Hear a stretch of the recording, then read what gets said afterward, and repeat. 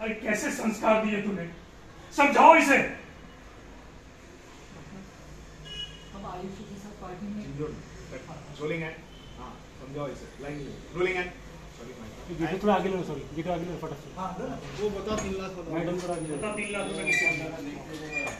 Roll no no no and rolling है। Action अरे कैसे संस्कार दिए इसे?